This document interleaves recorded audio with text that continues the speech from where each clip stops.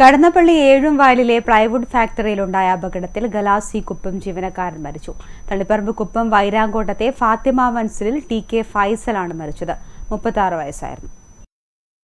ബുധനാഴ്ച രാവിലെയാണ് അപകടം നടന്നത്. ഏഴുംവയലിലെ പ്ലൈവുഡ് ഫാക്ടറിയിൽ സാധനങ്ങൾ ഇറക്കവെയായിരുന്നു അപകടം. കണ്ടെയ്നറിൽ നിന്ന് രണ്ട് ക്രെയിൻ ഉപയോഗിച്ച പ്ലൈവുഡ് ഇറക്കവെ ക്രെയിനിന്റെ ബെൽറ്റ് പൊട്ടി മെഷീൻ ഫൈസലിന്റെ തലയിൽ വീഴുകയായിരുന്നു. ഉടൻ തന്നെ Pariyaram Kannur government medical college ആശുപത്രിയിൽ എത്തിച്ചെങ്കിലും ജീവൻ രക്ഷിക്കാനായില്ല.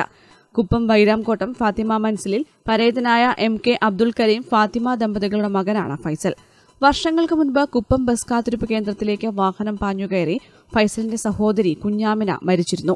ഷിഹാബ് ഷൌക്കത്ത് മൻസൂർ റഹീം മുഹമ്മദ് അലി മിശ്രിയ ഷബീന നസീറ ജംഷീറ എന്നിവരാണ് മറ്റ് സഹോദരങ്ങൾ. News bureau Taliparamba.